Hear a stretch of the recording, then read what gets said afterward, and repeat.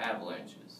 Avalanches are big dangerous sheets of snow and ice that fall from the snowy hills of the tundra that are often caused by people and animals that get caught in it. Another type of avalanche is a slab avalanche where it shatters like glass and falls down hills. If you're going skiing in an avalanche prone area, you need to take an avalanche safety course and make sure you have an experienced group leader. When driving, obey all road closures due to explosives being used to clear roads. Furthermore, note any signs to an avalanche area do not stop. If you happen to be in an avalanche, keep your in, keep in the car with your seatbelts on, for it is a lot easier to find a car than a person. If you somehow ended up in an avalanche despite the warnings, try to create a pocket of air and leave your arm up towards the sky to signal where you are.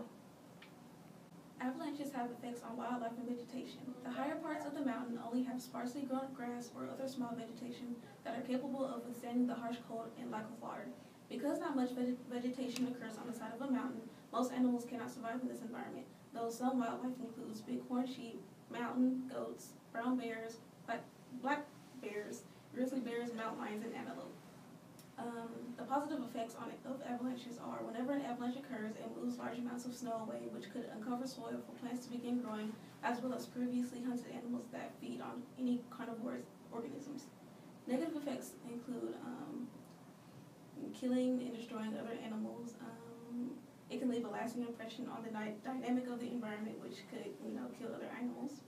And um, many villages, ski resorts, and others living near mountains is at high risk of being victim to an avalanche.